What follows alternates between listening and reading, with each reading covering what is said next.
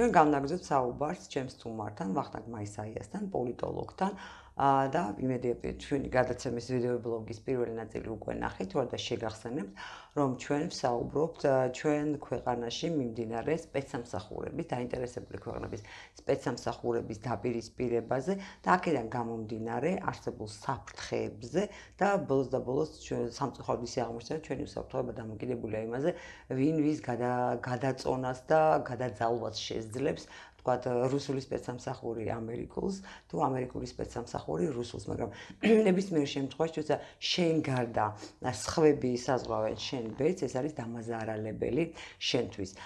და ამასთანავე არის კიდევ ერთი საკითხი, ბატონო, ახლა მეკითხეთ კიდეც, რომ ასეთ პირობებში შესაძლებელი არის რა საერთოდ პრევენცია.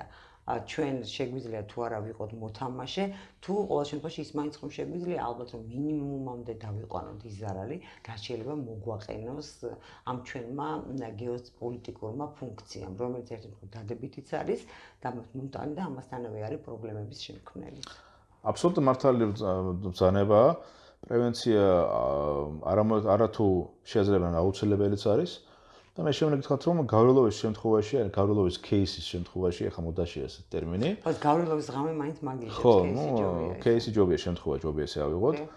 აა გავრილოვის შემთხვევა თავისუფლად შეიძლება ამ ადამიანის მე ვიტყოდი გაშიფრვა და მისი ოპერატიული ბიზან შეწონილობის გამო არ დაშვება ჩვენს ტერიტორიას. მე გეტყვით მარტო ერთ მაგალითს ახლა, მაგრამ შეიძლება შემიძლია მე გამოვიყენე თუნდაც მე რომ ჩავატარე უკვე ამ შემთხვევას მე გარკვეულწამს სპეცსამსახურის სპეციალისტმა აა ბოლოს ბოლოს ახლა მიშა საკაშვილის იმის ხოლმე თუ მე სუკის გენერალ-პოლკოვნიკი ყოფილა და არ უწოდი ეს ეს საკის საუბრის თემა რა თქმა უნდა იქ როგორ მაშინ როგორ იკედებოდა ყოველ მესამე მაშინ ჯაშუში იყო და ესე საინტერესო ამანაც დიდი როლი ცუდი როლი თამაშა რომ ფაქტიურად ესე ვქოთ აი ჯაშუშობის ელემენტი გახდა უკვე კომიკურ სატირისტული შინაარსი და მონებრივია ამან ფაქტიურად ფაქტიურად ესე ვქოთ დათური სამსახური გაუწია. აი გელი გელი აბსოლუტურად აბსოლუტურად გელზე უფრო უარესიც იგინებოდა რა ქვია იმიტომ რომ იქ რო იწერებოდა რაღაც მარაზმები, ანუ ახლა მაგალითად ერთ-ერთ მაგალითად იგივე თუნდაც პიროვნებას ის არ ჩაუწერეს რომელი ქვეყნის სპეცსამსახურის ჯაშუში იყო. საერთოდ ადამიანს უწერია ჯაშუშობა და არ უწერია რომელი ქვეყნის ჯაშუშია. თუ წარმოგიდგენთ, ესე იგი სტალინის და ბერიას შეკერა საქმეებსაც კი კი გადაუჯოკრეს ესე ტერმინით ველაპარაკოთ, ხო? ანუ გამონებო თავი და და ის სპეცსამსახურების მე ვიტყოდი ანალეკლი დღესაც ასე ვქო ძალაშია სამწუხაროდ ახლა მათ როგორ უნდა გამოვლინათ გაბრილოვი და მისნაერი გამოცდილი მზვერავები, ხო? ესეც ცალკე საუბრის თემაა, ხო, ეს ერთი. მოდით ახლა დაუბრუნოთ ამ თემატიკას, დაუბრუნოთ ჩვენ საუბარს. არის ეგეთი ცენტრალურ სადავო სამართლებო და იქნება ძალიან ძალიან საინტერესო მეთოდი, ეს არის სწორედ ერთ-ერთი ანალიტიკური მეთოდი, რომელიც მე შეუვითაც ცენტრალურ სადაზვერვო სამართლო ახორციელებს იგივე სავარაუდო და უშუალოდ იგივე მათ შორის აგენტების გამოვლენის პროცედურასაც, ეს არის ფსიქობიოგრაფიული მეთოდი.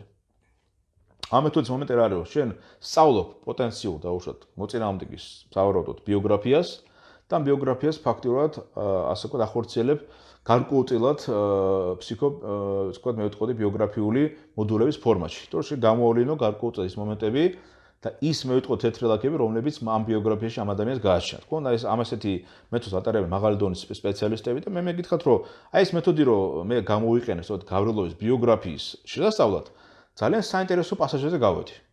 რომელიც შემიძლია ახლა მეკითხა კონკრეტული კუთხიდან გამომდინარე. სხვა შორის მე გავრილომა თვითონაც დაადასტურა ეს და უშუალოდ იმ ინტერვიუში, რომელიც მან მისცა NTV-ზე, რომელიც აბსოლუტურად არის კრემლის რუპორი, გადაცემა ცენტრალურ ტელევიზია, ხო? ძალიან საინტერესო მომენტი ისახნა, ქვია, გამოავლინა თვითონვე. თვითლუსტრაცია გააკეთა. ანუ რა რა ეგულისხმება? დავაწყოთ იქიდან რომ გავრილოვის ვქოთ, მე ვიტყოდი პოლიტიკური ბიოგრაფია იწყება 2006 წლიდან მაგრამ ყველა საინტერესო მომენტია 2006-დან 2011 წლამდე მისი ბიოგრაფიული ცნობები არის ძალიან მე ვიტყოდი ასე ვთქვათ შენიღბული ასე ვთქვათ. ანუ სადმოყოფე როგორ არაჩანს კი იყო პირველი მოწვევის ერთ-ერთი მოწვევის დებუტატი მე მისი საქმიანობა რატომღაც არ იკვეთება და მე უკვე 2012-ის მერე ისევ უბრუნდება ისევ ასე ვთქვათ მე ვიტყოდი თავის პოლიტიკურ აქტივობას ხო? და ნუ კომუნისტური პარტიის სახელით შედის სახელმწიფო საათბიროს წევრი ხდება. მაგრამ ყველა საინტერესო რა არის რომ 2011 წელს გავრილოვს მიანიჭეს ფაქტიურად საბრძოლო ჯილდო. ეს არის სამშობლო წინაშე განსაკუთრებული დამსახურებისათვის, მეორე კატეგორიის დამსახურებისათვის ჯილდო მიანიჭეს, რომელიც ეს არის საბრძოლო ჯილდო, რომელიც ენიჭება ადამიანის მიერ დაუშვათ იგივე საბრძოლო პირობებში გამოჩენილი დაუშვათ მამაცობისას, ვაჟკაცობისათვის და ეს განსაკუთრებული დავალებების შესრულების პერიოდში ანიჭებენ ასეთ ტიპის ჯილდოს. ეხლა ამ ჯილდოს იმაშია არ წერია რა ვითარებაში, როგორ ვითარებაში მოხდა მისი გადაცემა, საერთოდ ეს იყო დახურული ბრძანების საფუძველზე, მაგრამ ეს ჯილდო ფიქსირდება, ეს ერთი. მეორე მომენტი, როცა ის უკვე ამ ჯილდოს მინიჭების მერე უცებ გავრილოვი ჩდება უკვე ღია პოლიტიკაში და ყველა საინტერესო საოცრებო. გავრილოვი ხდება 2012-დან 2015 წლამდე დაახლოებით ის არის რუსეთის სამხედრო სამხედრო კომპლექსის ყველაზე წამყვანი კორპორაცია მიგ მიგების სკოც ავია გამარჯვებების კორპორაციის გენერალური დივიზიის მთავარი მრჩეველი. ფაქტიურად ის ხდება ამ კორპორაციის ლობისტი შეერაღების ბაზარზე. ესეც საინტერესო ასე ვთქვათ ეს არის, იმიტომ რომ ასე დონის თანამდებობებზე ან მიდიან, ან მაღალი დონის, ასე ვთქვათ, სამხედრო ან პოლიტიკური მოხელეები, ან პროფესიონალური მზერავები. შეიძლება მოგითხრათ იგივე პავლე გრაჩოვი, ხო? თავდაცვის ministri, რომელიც ელცის პერიოდში იყო და თავდაცვის ministri, როგორც კი ელცმა გადააყენა, სწორედ ამ მიმართულებით ანალოგიური თანამდებობა მან მიიღო თუ არც ერთ რომელიღაც კროსობორენ სპორტის იმაში აქვია, აა კორპორაციაში და ასე შემდეგ. ანუ ეს საკმაოდ ცნობილი მომენტია, რატომ? იმიტომ რომ ამ ასეთ ადამიანებს კარათიციან, ანუ ბაზრის კონjunktურა, მათ ყავთ ძალიან კარგი ასე ვთქვათ ნაცნობების წრე და მათთვის ძალიან იოლია ლობირება განახორციელონ სხვადასხვა მეტოდ ცხელწერტილებში და უშუალოდ და მოახდინონ რუსეთის შეერაღების და უშუალოდ ექსპანსია და მათი ასე ვთქვათ გაყიდვების იმაში ეს კარგად ეხმარება მათ სპეციფიკური ცოდნა და უნარები და უნარები და მოვლენები. მეორე მომენტი, ამის შემდეგ შესაბამისად, რა თქმა უნდა, ამ კორპორაციის მეშვეობით უცებ ხდება კომუნისტური პარტიის რიგებში ხდება გავრილოვი, უკვე სახელმწიფო სადათბიროს წევრი, ერთ-ერთი კომიტეტის თავმჯდომარის მოადგილე თუ არ ვსდები. და ნუ შესაბამისად ის მუშაობს ძირითადად DST-ის სივრცის ფარგლებში. ესეც საინტერესო მომენტია, ხო? და კიდევ ერთი მომენტი, როგორც კი თუნდა აკვირდით, როგორც კი გავრილოვი ჩამოფრინდა მოსკოვში, თბილისიდან, თუ თქვენ ამას დააკვირდით, არა, გავრილოვმა აიღო ბიულეტენი არა, არა, მაგს არ დავკვირვები ვარ. ბიულეტენი აიღო და 2-3 წლის განმავლობაში გავრილოვი ფაქტობრივად იყო ასე ვთქვათ, აა, არ ვიცი, სად იყო, სად გავყარებ, აბსოლუტურად უცნობ უცნობილ სად იყო. და მორიგიმებს იღებდა. არა, არა, სხვა რამეა. 3 დღის მერე გავრილოვი გამოჩნდა და დაიწყო აგრესიული, მე ვთქვი. და და მე თქვა იღებდა აი ამ დირექტორებს. პრესპი, მას მედიური პიარი, ხო, ასე ვთქვათ, მაგრამ ყველა საინტერესო მომენტია, რომ აქვე საინტერესო თემთხვევა გაუშვათ ერთ-ერთი იგივე შტურმის მონაწილის უცებს საიდუმლო ეს ვიზიტი მოსკოვში, ორი ვიზიტი. ხო. ანუ არ ვიცი ხა რამდენი თემთხვევა თუ მაგრამ აქ სხვა მომენტი რა. ანუ ნახეთ სპეცსამსახურების ენაზე, განსაკუთრებით საგარეო დაზვერვის ენაზე, ვინც იცის ეს სხვა სპეციფიკა. ყოველი ნებისმიერი მზვერა რომელიც ასრულებს თავის მისიას, ის აუცილებლად განსაკუთრებული დებრიფინგს. ანუ სამშობლოს დაბრუნებისთანავე ხორცელა მისი იზოლაცია რამდენიმე დღით. ის რამდენჯერმე წერს მოხსენებას. ამ მოხსენებას სწავლოს სპეციალური მე ვთქვი კომისია სპეციალურ სტრუქტურები მას რამდენჯერ უტარებენ ჯვარეზე დაკითხვას მაგრამ ეს არის იზოლაციაში. ამას ქვია დებრიფინგი ამას გადის ყველა მე ვთქვი მზვერავი არ აქვს მნიშვნელობა ის მოშავ საფარქვეშ. გაჩნდა იქ ამის შესამოწმებლად? ხო, ну ახლა ბიულეტენის ახლა გავრილოვის ჩასვლისთანავე ბიულეტენის აღება იწვევს ჯერ ბევრ კითხვას. ეს საქართველოს აქ მასთვის არავისთვის ფიზიკური შეუწყობა არ მოუყენებია. არ უცემია და მას არ ქონდა ეს მომენტი რომ დაუშვათ საქართველოს წავიდა რაღაცა ცულად გამختارიყო, ხო? შეიძლება გაცივდა. ხო, ну შეიძლება გაცივდა, მაგრამ ახლა გაციობოა, როცა ჩაის ადამიანი და 3 დღე იღებს ბიულეტენს, ხო? თან ვითომეტეს რომ იმ მეორე იმავე დღეს არ ახორციელებს არც ინტერვიუს არ აძლევს არაფერს და ბიულეტენს გადის და იკარგება, ხო? ეს რაც ნიშნავს? ხო, მეორე მესამე მესამე დღეს გამოჩნდა და დაიწყო აქტიურად უკვე თავის ინტერვიუის მიცემა და გამოჩნდა მთავარ მე ვიტყოდი პროპაგანდისტულ სატელევიზიო არხზე და კონკრეტულად გადაგაცემაში, ხო? ну დიდი ალბათობით შეიძლება თქვა რომ უბრალოდ ბატონმა გავრილომა გავრილოვის წინამდე ჩატარდა დებრიფინგის მე ვიტყოდი მომენტი მან ფაქტიურად როგორ ჩანს ანგარიში ჩააბარა თავის კურატორებს იმიტომ რომ ყოფილი მზვერავი ბუნები არ არსებობს და მეორე მე და კიდევ უფრო საინტერესო მომენტიც არის. აა გავრილომა უშუალოდ ასე ვქვათ აი ამ გადაცემაში ცენტრალურ ტელევიზიაში თვითონ აღიარა 2006-2011 წლებში ის თურმე მონაწილეობდა ჰუმანიტარულ სპეციალურ ოპერაციებში და დაასახადა ისეთი წერტილები რომ წერტილებში ყოველ შემთხვევაში მზვერავისათვის და მით უმეტეს შენიღმული ტიპის მქონე ზორავისათვის მონაწილეობა იქნებოდა ალბათ ყველაზე ოპტიმალური ვარიანტი. ლიბია დაასახელა, ნუ სირია დაასახელა, კიდე რამოდენიმე ცხელი წერტილი დაასახელა, ხო? და ბუნებრივად ამიტომაც უკვე ისმის კითხვა თუ რატომ იანიჭეს მას საბრძოლო სპეციალური ჯილდო დაუშვათ 2012 წლების პერიოდში, ხო? ეს ყველაფერი ერთად რო შევკრიბოთ ეს ყველაფერი ეს მაშ აქვია. ერთი მაშ ფაქტების იმაში. აქ აშკარად იკვეთება ეს მომენტი რომ გავრილოვი მაღალი ალბათობით დავუქვათ ამას ანალიტიკური ეჭვის საფუძველზე, ხო, არის გონრო ეჭვის საფუძველი, ანალიტიკური ეჭვის საფუძველზე არის პროფესიონალური მზვერავი. ну სავარაუდოდ აი ყო რომელი ტიპის მზვერავია, პოლიტიკური მზვერავია თუ სამხედრო მზვერავია, ალბათ ეს არის გასარკვევი ყველაზე მეტად.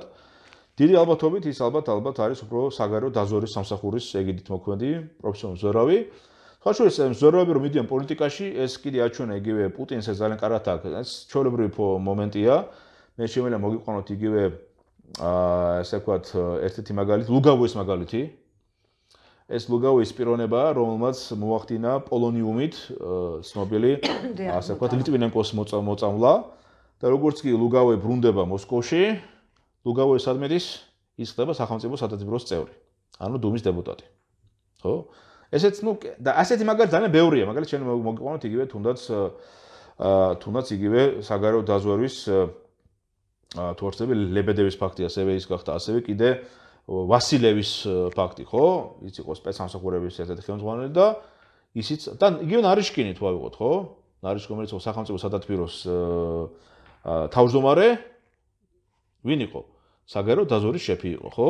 დიახ. ასე შენ, ანუ ბევრი მაგალითი შეიძლება მოიყვანოთ ამისა, ხო? ზოგი ხდება ან და სხვა შე ლუგავოეს ხოდაშორის ყველა საინტერესო მომენტი რა არის, იცით? ის წავიდა თუ არ ვწდები ლიბერალ დემოკრატიული პარტიის ხაზით. თუ არ ვწდები, თუ არ მეშლება, შეიძლება შეიძლება. თუ არ თუ შეიძლება მეშლება, ხო? მაგრამ მე მგონი ჟირინოვსკის პარტიის ხაზით ის შევიდა გახდა დეპუტატი. მაგრამ მაშინ დეპუტატო მას ჭირდებოდა, იმიტომ რომ ბრიტანეთმა მოითხოვა, ხო ბრიტანეთმა მოითხოვა მისი თავი, იმიტომ რომ ბუნებრივი ის გამოვლინდა, რომ მან შეასრულა სპეცდავალება და ადამიანი ფაქტიურად სასიკვდილო გაიმეტა უკვე ბრიტანეთის ტერიტორიაზე, რა თქმა უნდა, დანაშაული, უკვე სახელმწიფოში დანაშაული, ხო? გასაგებია, ხო? და პრესის საქმე ბუნებრივია, ხო? და ნუ ამით უკვე რუსეთმა პირდაპირ განისახნა, რომ ის თავის ყოფილ ზვეროებს და მოქმედ ზვეროებს ბუნებრივია გასაჭირში არ დატოვებს. მაგრამ აი ეს ყველა მომენტი, ახლა ყველა სპეცსამსახურის ასე ვთქვათ, მე ვთქვი ხელმძღვანელების აა ესე ვთქვათ, ერთ-ერთი სამოქმედო არეალი ხდება ქვეყნის პარლამენტში მოღვაწეობა, ხო? არა მარტო დეპუტატის რანგში, არამედ შეიძლება ის მოღვაწეობდეს დაუშვათ ექსპერტის, ან დაუშვათ დეპუტატის თანაშემწის, ან დაუშვათ სხვა თანადობის კუთხე. ახლა რა მინდოდა მეკითხა. გავრცელდა ინფორმაცია გუშინ ნახეთ, ჩემი რუსი კოლეგი, კოლეგის კედლიდან წამოვიღე, რომ რომის პაპმა დააჯილდოა.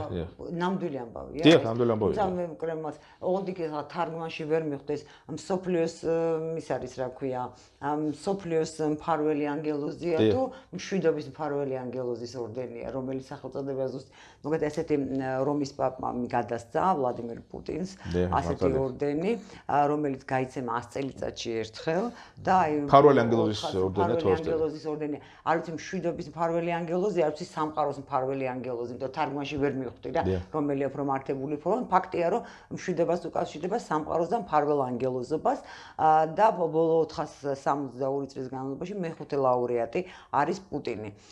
მე როდესაც ევროსაბჭომ ხმა დაუბრუნა რუსეთს მაინც ეს აღვიქვი, რა თქმა უნდა, შემოწუნებელი ფაქტია, იმიტომ რომ ანყილიმის ანექსიას გამოვიდა, რომ შეეგუა მაინც, მაგრამ მე ხო ეს აღვიქვი, როგორც უსაფრთხოების მომენტი ჩვენთვის, არ გაფუჭებს. ახლა უდულად არ დაგვესხმება მეთქი თავს, მაგრამ აი ეს მეორე ინფორმაცია უკვე რომ მივიღე, რომ ის პაპა რო დააჯილდოა და ფაროლ ანგელოზა მოგვივლინა გადატანით მნიშვნელობით პუტინი, აი ცოტა კი შემეპარა რაღაცა ეჭვი გულში, რომ ისევ წახალისება ხო არ მოხდა, როგორც 2008 წელს როცა ბუქარესტის ნატოს სამიძე ფაქტობრივად იმით რომ ჩვენ მაპი არ მოგწევს წვანიშუკი აუნთეს დანაყეთ საქართველოს დანაყეო. ახლაც რაღაც ამდაგვარი ხო არის უკრაინა და საკა და კოლომო კიდე ერთ მომენტს ვიტყვი. და ძალიან საინტერესოა კოლომოის განცხადებები კი ხო კოლომოის განცხადებები ცნობილი რომ არაფერ შუაში არ არის რუსეთის ფედერაცია დონბასა და ლუგანსკში მიმდინარე სამხედრო მოქმედებებზე რომ პრობლემა არ არის რომ იქ არის რუსი ოფიცრები რომ ისინი არიან დასასვენებლად და ამ დროს ერთი წლის წინათ სულ სხვა რამეს აცხადებდა რომ რუსეთი არის ჩართული და ერთი მომენტი ანუ ეს მესამე ინფორმაცია უკვე ერთი მომენტი რომ ზელენსკის თავად დამფინანსებელი არის სწორედ ბიზნესმენი როგორც უკრაინაში უწოდებენ ოლიგარქი კოლომოისკი ერთ პაკეტად ისევ წახალის და ისევ მისცეს მოქმედების თავისუფლება. მე კიდევ ერთ მნიშვნელოვან ფაქტს ფაქტ შეგახსენებთ კიდე რომელიც ალბათ აი ამ ჩხილებში რა თქმა უნდა მარგალიტებს კიდე უფრო ემასობა კიდე უფრო შეძენს შეძენს უფრო მე ვიტყოდი ეს თქვა იმას წინვალებას.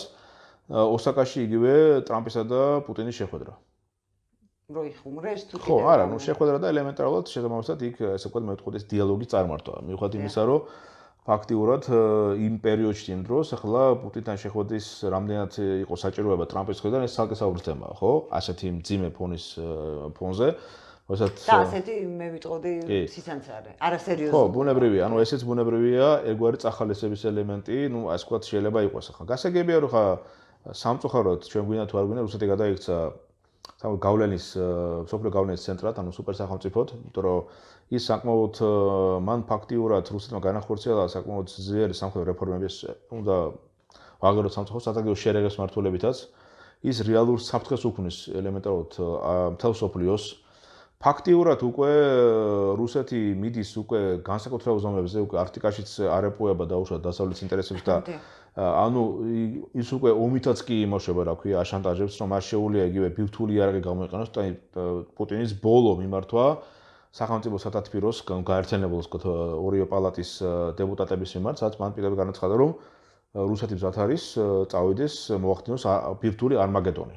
ეს მე მგონი, ყოველ შემთხვევაში მე მისი ციტრების არაპირდაპირ იმას ვაგაგებ, ვაკეთებ, ხო?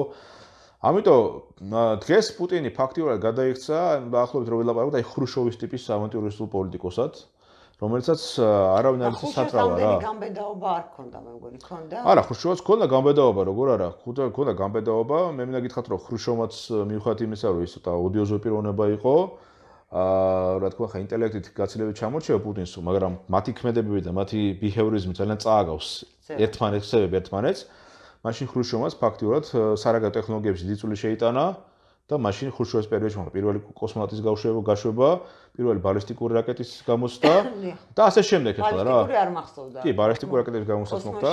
კი, და პირველი სხვა მათ შორის იგივე ჰაერსაწინააღმდეგო თავდაცვის სისტემის ელემენტის გამოსვლაც ჩამოაგდეს პაუერსის უორი თვითმფრინავი, რომელიც საკმაოდ მაღალ სინამდვილეზე ემოშებოდა, ეს უკვე მნიშვნელოვანი ის ყო რა ქვია. წული შეტანა იყო თუნდაც გამართლების მართულებითაც. და ნახეთ, და პლუს კი და პლუს კი და იდეოლოგი იდეოლოგიის გავრცელება. ნახეთ, ხრუშოვმა გააკეთა ის, რაც ვერ გააკეთა ტროცკიმ და სტალინმა. ანუ მან დაეძო კომუნიზმის გავრცელება უკვე ყველა კონტინენტზე, მათ შორის ლათინ ამერიკაში, აფრიკაში, აზიაში და ავსტრალიაშიც კი. ანუ დაანჩენ იმაზე არ მაქვს საუბარი, ხო? დასავლეთ ევროპაზე იმაზე არ მაქვს საუბარი, ხო? უბრალოდ ერთ შესწმა დაუშვა, რომ ჩინეთთან გაიფუჭა ურთიერთობა. დღეს ფაქტობრივად იგივე სიტუაციაში ვიმყოფებით. ნახეთ, რუსეთის გავლენის სფეროები გაიზარდა ლათინ ამერიკაში, აი გუშინ გუში წინ რამდენი წუთი უკან იგივე ბოლივიის პრეზიდენტი პირადად ჩავიდა მოსკოვში და ოფიციალურად თქო დახმარება. ვენესუელა, ბოლივია, ნიკარაგუა, კუბა. ეს მარტო ის ცილე ჩამონათვალია რუსული და უშუალოდ გავლენის სფეროებისა და უშუალოდ ცენტრალ ლათინ ამერიკის ქვეყნებში, ხო? ბელორუსეთი რუსეთ პუტინის რუსეთმა წავიდა იმაზე შორს ვიდრე საბკავშირის საბკავშირის დაუშვათ იყო ხო? მან მოახდინა ჰიბრიდული ომი გამოუცხადა ამერიკას და დაესხა და ფაქტიურად აი პირდაპირ მოახდინა პოლიტიკურ არჩევნებზე პირდაპირ გავლენა მოახდინა ხო ამაზე მეტი რა უნდა იყოს? ხო, არა, შექმნა და არა, არა, მოახდინა, იმიტომ რომ ფაქტურად იქ პოლიტიკური სისტემა უკვე საკმაოდ დაზარალდა რა, ხა, უნდა ვაღიაროთ, სამწუხარო რეალობა ეს არის, ხო? აი მე გარჩევნების გავლენა. ნახეთ, Russian Today-ის CNN-ის ეფექტი შეეცვალა Russian Today-ის ეფექტით, ხო? ესეც საკმაოდ ძლაურად გამოიყენა ეს პასაჟი, ხო? ასევე რუსეთის პირდაპირ ინტერვენციები აფრიკის კონტინენტზე. ანუ ფაქტობრივად ცენტრალ აფრიკის რესპუბლიკა დაწყებული ლიბიიდან ლიბიამ დამთავრებული უკვე აფრიკის კონტინენტსაც ცელდება რუსული გავლენები.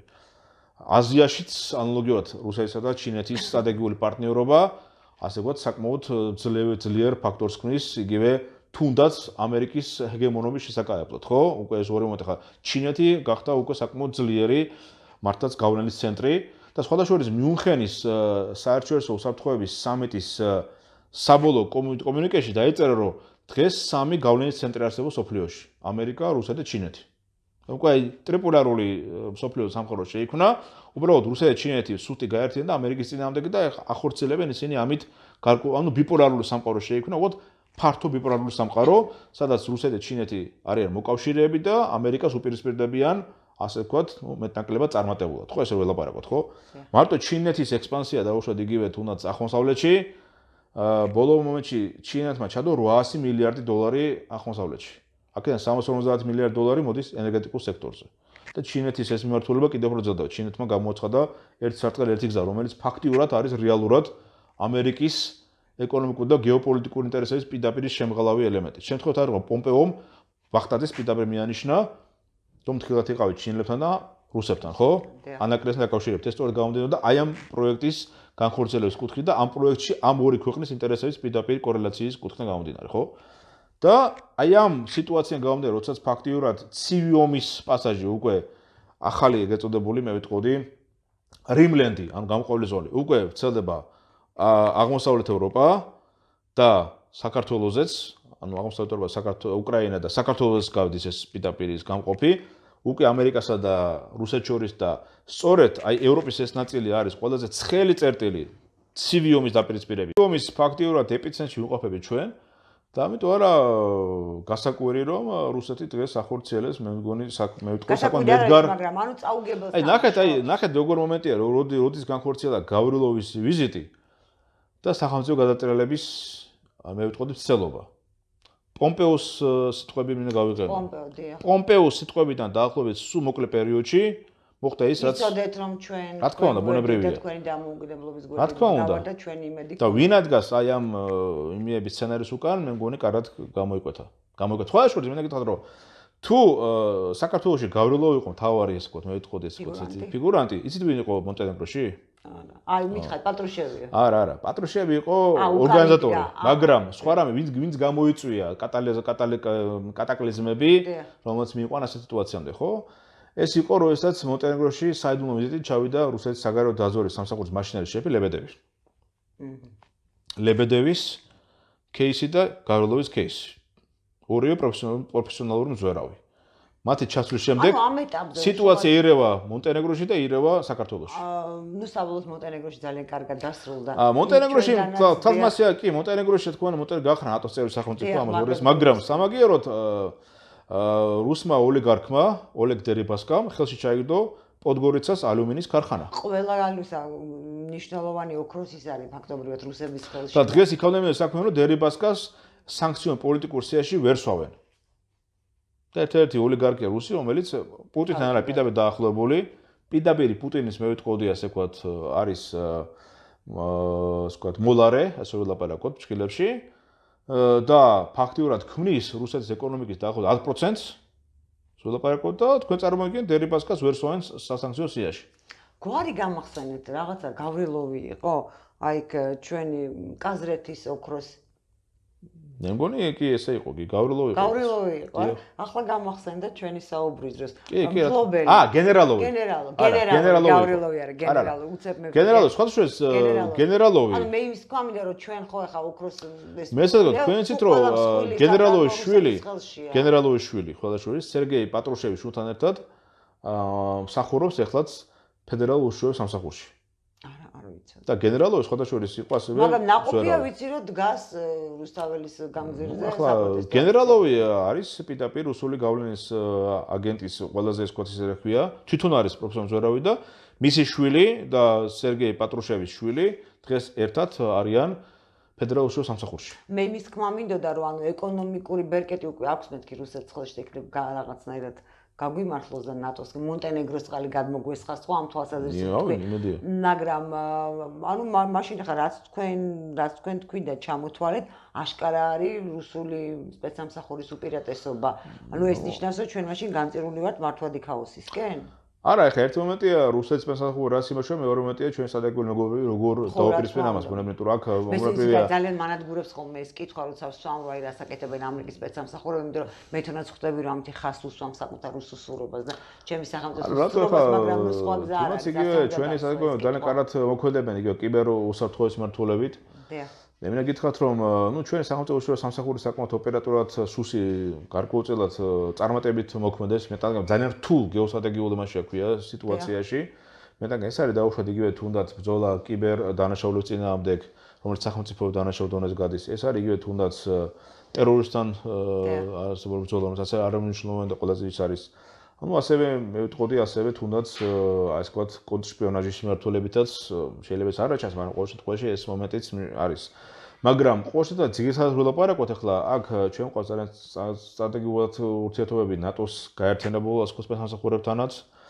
აა გვაქვს იგივე ამერიკასთან, ბრიტანეთთანაც და ყო ახლა მე ვთქვა, აღარ ვიტყვი რა დონორთან, ამიტომ ბუნებრივია ეს ბუნებრივია უნდა იყოს, არ არ უნდა იყოს ფართო ეს გადაძროისა, მაგრამ ყოველ შემთხვევაში ესეთი ურთიერთობა ჩვენ გვაქვს, ამას უზრუნველყოფს იგივე საქართველოს ამერიკის სტრატეგიული პარტნიორობის ქარტიის, ასე ვთქვათ, დოკუმენტი, რომელსაც ფაქტობრივად სამართლებრივი დოკუმენტიც არის. ის თანამშრომლობა, რომელიც ახლა ვითარდება და საქართველოს დღეს ხდება სწორედ ნატოს შავი ზღვისპირეთის უსაფრთხოების განზომილების ერთ-ერთი მნიშვნელოვანი აქტორი და ეს სამხედრო ცნამი, რომელიც ხორცელდება უკრაინაში, ახლა საქართველოს უნდა გაიმართოს, მანამდე რუმინეთში იყო, ეს არის სწორედ აი ასეთი დაცვის სამხედრო უსაფრთხოების დაცვის ერთ-ერთი მნიშვნელოვანი კომპონენტები. ასე რომ თლათ ისე არა საქმე როგორც ახლა ვინმე შეიძლება წარმოადგენს, მაგრამ ბუნებრივია რომ სპეცსამსახურები გაცილებით რომ კომფორტულად ზომე თავს ჩვენთან და ეს კარგად ჩანს იგივე პოლიტიკური სპექტრის დონეზეც, ხეთ, ანუ და ფაქტიურად იგივე ის რადიკალური ჯგუფების წარმოადგენლები დღეს ასახებენ ანტირუსულები გამოდიან. ახლა ვის ინტერესებს რეალურად განარ მათ უკან ეს ბუნებრივია მეგონი რთული გამოს რთული გამოსასწრომი არ არის, იმიტომ რომ მიხეილ საკაშვილი რომელიც პირდაპირ არის გამოვლენილი ის იყო ფაქტიურად ალექსეი კურჩენკოს პირადი ასე ვთქვათ სპონსორი და მე ვუსადი მიხეილ საკაშვილის თვითონ ვინ არის? მიხეილ ოფიციალურად არის სწორედ მიხაილ ფრიდმანის ალფა ბანკის ბლოკჩეინის ეთაშვილობილი კომპანიის სახე. ის ოფიციალურად ოფიციალურად მიხეილ ავანისაგან ღებულობს ანაზღაურებას. აი ამ სარეკლამო იმაში მონაწილეობის გამო. ოფიციალურ სახეა. ან ბლოკჩეინი კომპანიის, არ ვიცი აღარ აქვია ბლოკჩეინს 2.2.0 თუ რაღაცა რა. არ ვიცი რა მოეწონათ ეს ეს შეიძლება მიხეილ საკაშვილს კითხოთ უკვე რა მოეწონათ მის მისი, მაგრამ ეს არა მთავარი. მთავარი მეტი რომ უბრალოდ გაიჭრა მიხეილ საკა ოფიციალურად ფულის გადაცემის არხი ეს ერთი. როგორც ერთი უკრაინის უშუალო სამსახურო გამოუვლინა მიხეილ საკაშვილის მიერ კურჩენკოსაგან რამდენიმე მილიონი დოლარის აღების ფაქტიც.